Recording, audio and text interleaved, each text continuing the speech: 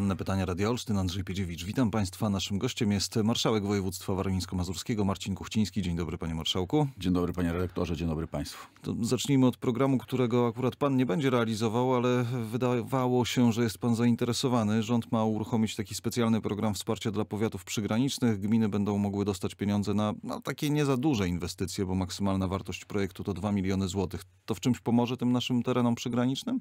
Tak, znaczy jesteśmy zainteresowani każdym, każdym wsparciem. Jako samorząd województwa e, zabiegaliśmy o to, e, żeby mm, jakiś program, który w jakiś sposób rekom będzie rekompensował te straty, które ponieśliśmy, jeśli chodzi o nasze sąsiedztwo z obwodem e, królewieckim. Bardzo się cieszę, że rząd pana premiera Donalda Tuska odpowiedział szybko i sprawnie na nasze, na, na nasze prośby.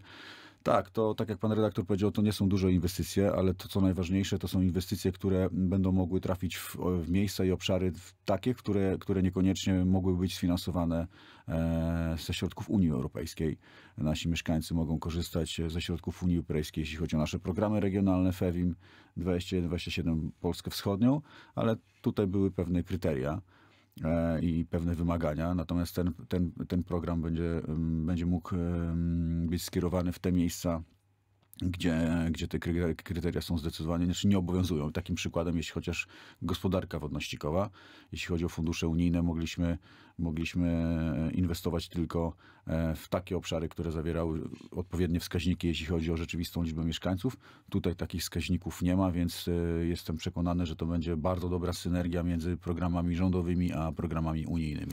No tylko właśnie ta kwota jest tutaj trochę niepokojąco niska, tak twierdzą niektórzy politycy, nawet z koalicji koalicji rządzącej 25 milionów złotych na cały ten rok dla województwa warmińsko-mazurskiego, no to jeżeli porównać to chociażby z funduszami unijnymi, o których pan wspomniał, no to jest prawie nic. Biorąc pod uwagę fakt, że ten, że ten program powstał naprawdę w ekstraordynaryjnym e, czasie, e, jeśli chodzi o kwestie również trudności e, w budżecie, wszyscy o tym pamiętamy, jak to wyglądało. E, cieszymy się, że taki e, program jest i że takie wsparcie na te właśnie mniejsze inwestycje, nie wpisujące się w, w pieniądze unijne, e, się znalazły. A jestem przekonany, bo trwają takie rozmowy, żeby w kolejnych latach wartość tych programów, wartość kwot w tym programie urosła. No to teraz przejdźmy do funduszy europejskich dla naszego województwa. Pański urząd odpowiada za te tak zwane fundusze europejskie dla Warmii i Mazur, coś co wcześniej nazywało się regionalnym programem operacyjnym. E, to jest prawie miliard 800 milionów euro do 2027 roku. Tylko tu pojawia się takie zagadnienie dotyczące czasu bo tak naprawdę rozdawanie tych pieniędzy, czy rozdysponowanie tych pieniędzy ruszyło dopiero w ubiegłym roku, chociaż perspektywa finansowa jest od 2021, czyli można mówić, że był tutaj pewien poślizg. Ile konkursów do tej pory udało się przeprowadzić? No tak jak pan doktor powiedział, jesteśmy w trakcie e, inwestowania z pieniędzy unijnych. Rozpoczęliśmy pierwsze nabory, na, na pierwsze nabory e, w październiku ubiegłego roku. Tak naprawdę każdego tygodnia na każdym zarządzie mamy ogłoszenie, e, ogłoszenie nowych naborów. Myślę, że to będzie, byłoby, będzie około kilkudziesięciu e, projektów. No, mamy, e, mamy przed sobą ogromne wyzwania. E, powinniśmy tak naprawdę być w środku tego, tego, tego programu unijnego, tej inwestycji programu funduszy europejskich, a jesteśmy tak naprawdę w, po, po, pół roku, można powiedzieć. Nie chcę wracać, dlaczego tak się stało. To jest jakby oczywiste. Późne, późne negocjacje rządu poprzedniego z Komisją Europejską, późna podpisana umowa partnerska. E, do tego dochodzi tak zwane N plus 2, bo do tej pory mieliśmy N plus 3, czyli w momencie, kiedy kończy się perspektywa, mieliśmy 3 lata jeszcze na wydatkowanie tych środków, teraz mamy 2, więc musimy wszystko zainwestować i rozliczyć do 2029 roku. To jest bez wątpienia e, dla nas wyzwanie, dla nas wszystkich, dla nas jako instytucji zarządzającej tym programem, czyli ci, którzy rozdysponowują te środki, ale również dla beneficjentów, czyli ci, którzy inwestują i, i pozyskują, te, pozyskują te środki. E, wyzwanie, no całe szczęście, że mamy doświadczenia poprzednich projektów, e, poprzednich perspektyw unijnych. E, Która ta poprzednia też ruszała z pewnym poślizgiem. Dokładnie, ale nie, pewnie nie aż takim. E, natomiast mamy doświadczenia, jak to się robi.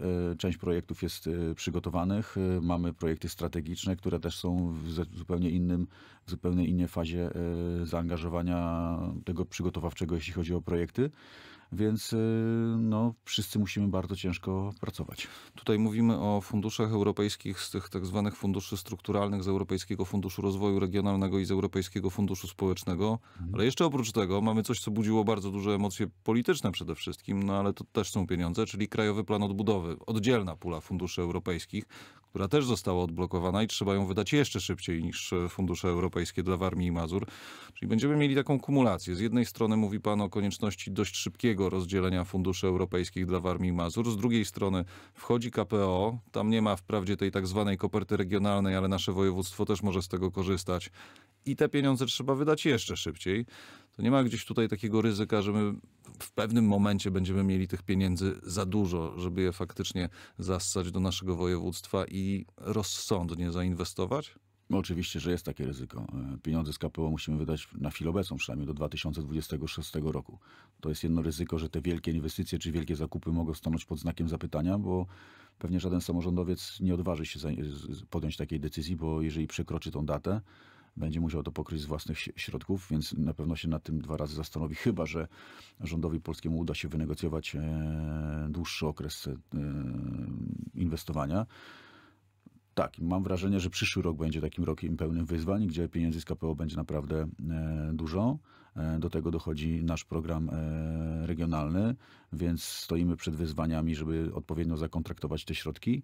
E, Oczywiście e, rynek zawsze reaguje w ten sposób, że jeżeli pojawia się dużo pieniędzy na rynku, ceny rosną, więc e, tu też może być tego typu ryzyko zagrożenia. Czyli samorządy przygotują jakieś projekty, a potem się okaże, że te inwestycje są o połowę droższe niż miały być. Może tak być. Do tego dochodzi, musimy pamiętać o tym, że i w jednym, i w drugim programie w KPO jest troszeczkę to w- w różnych obszarach inaczej. Jest wkład własny, więc jeżeli rośnie wartość inwestycji, to rośnie również wkład własny, więc te możliwości, możliwości e, samorządów mogą być e, różne. My od jakiegoś czasu e, umiejętnie przygotowujemy się, przygotowaliśmy się do tej perspektywy, mówię my jako samorząd województwa. Każdego roku przekazywaliśmy odpowiednie środki na spłaty naszych kredytów. W tej chwili jesteśmy naprawdę w bardzo dobrej, w dobrej sytuacji finansowej. Jesteśmy gotowi do tych inwestycji. Nawet gdybyśmy mieli zaciągać kredyty pod inwestycje, również jesteśmy tak na to gotowi i mamy takie możliwości. No dobrze, to to było o pieniądzach, a teraz na koniec jeszcze chwilę o polityce. E, Pan kandyduje do Sejmiku Województwa Warmińsko-Mazurskiego z listy Koalicji Obywatelskiej. Koalicja Obywatelska obecnie w Sejmiku ma 12 radnych. Jakie są nadzieje w Koalicji Obywatelskiej? Utrzymacie stan posiadania, zwiększycie stan posiadania w Sejmiku? Jak w tym momencie przewidujecie? Naszym planem minimum jest te 12 mandatów, utrzymanie e, 12 mandatów. Liczymy na to, że powiększymy e, swoją e, pulę.